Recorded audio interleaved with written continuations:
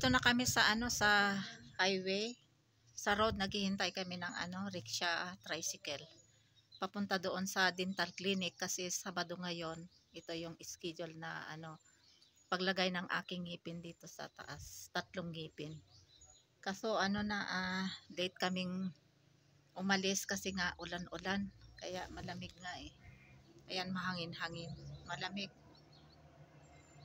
ano ngayon, uh, April 20 and today is Saturday and time now in Pakistan is uh, ano 1:45 PM.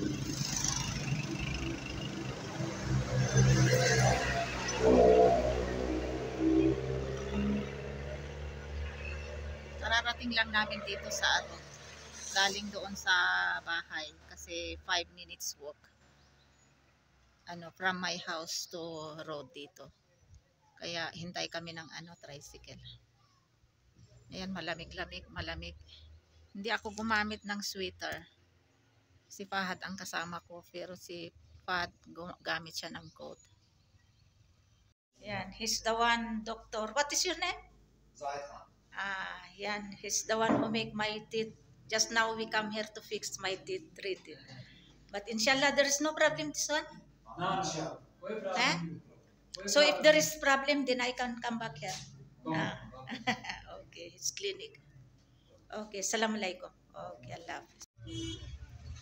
Nakalabas na kami sa ano, sa dental clinic. Dito na kami sa ano sa may vegetable shop kasi malapit lang yung dental clinic at saka dito. Ano hinintay ko si Fahad bumili siya ng ano yung karne ng baka. Kaya dito ako umupo. So, ayan, na ang aking ngipin. Hindi na ako nakapag-video habang, ano, uh, pinifix niya ito. So, ayan, tinanggal na yung, ano, ito yung dati. Kaya lang medyo mahirap pa na tanggal-tanggalin. Kasi bago pa lang. parang nanibago pa ako eh kasi bago pa lang pero masasanay na din ako pag ano matagal-tagal na. Pero mas maganda ng tingnan kasi may ngipin na. Hindi na bungi. Ito kararating lang namin ni Fahad. Galing ng ano ng Raulakot sa dental clinic.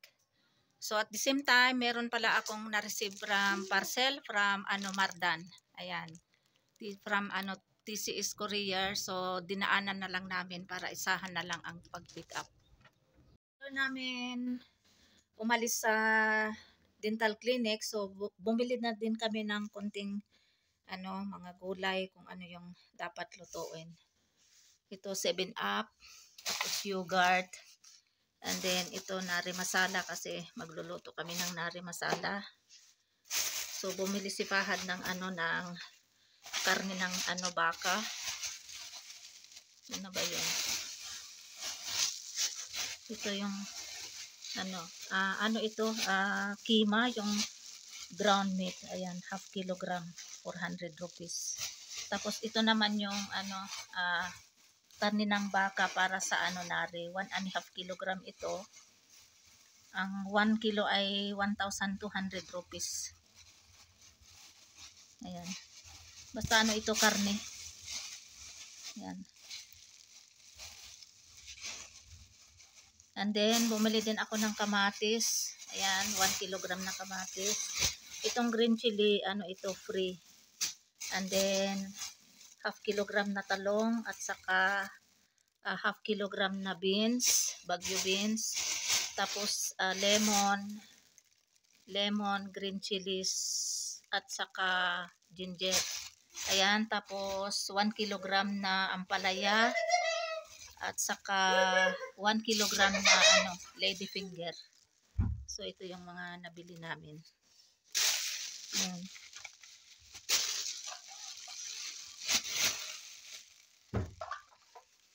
Bumili din pala si Fahad ng ano, ng, ano ba ito? Yung kima, yung ano, kabab. Kasi ano, gutom daw siya. Bumili siya ng isang kabab at saka tatlong chapati. Today's recipe is beef nari. Ayan, more than ano ito, more than half kilogram kasi yung binili ko ay one and a half kilogram. So yung ano yung kalahati ay ano nilagay ko sa ref para ano para may lulutuin the other day or after 2 to 3 days. Ayan, beef nari.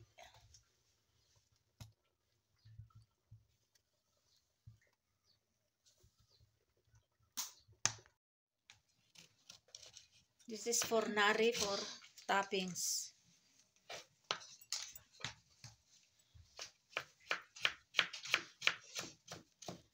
I can make also like this.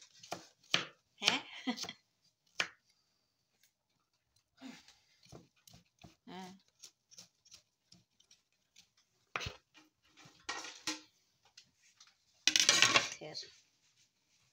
Here. Lemon.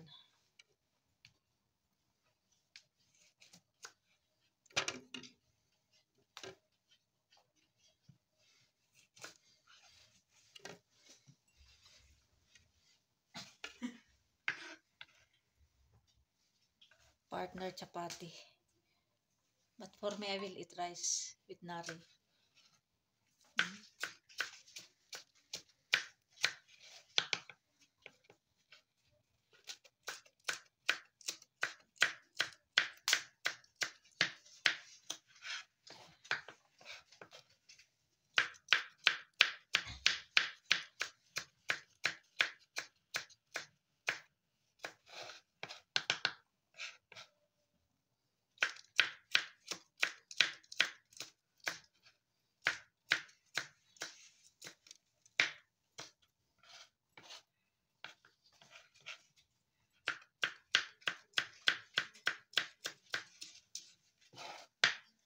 And then, enough there, enough, enough. Thomas already this one, enough. Enough na Thomas, no?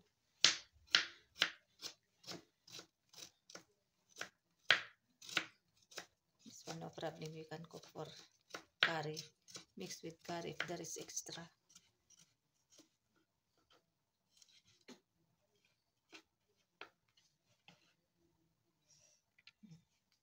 Then, danya, coriander leaves.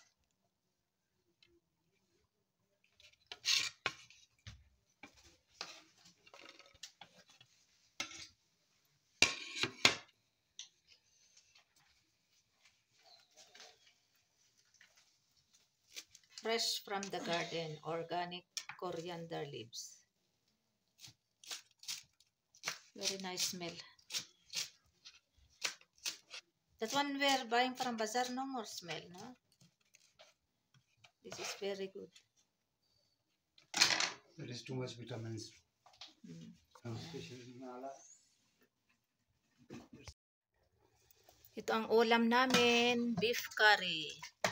Ayan. And then ito naman yung pang toppings. Ayan, maglagay ng ano ng isa o dalawang piraso sa plate then with gravy tapos lagyan ng ginger, green chili if you like and coriander leaves at saka yung lemon juice. Partner with chapati. Ayan, masarap pag ano chapati ang partner o kaya naan. Ayan ang aming ulam today. Today is April 20 and today is Saturday.